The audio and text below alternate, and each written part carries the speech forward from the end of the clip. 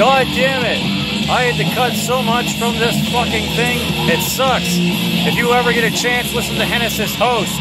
Del Un Host, the only album he ever freaking put out. It's amazing.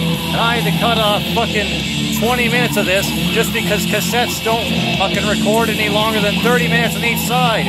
God damn it, there's so much good stuff. Just listen to this shit.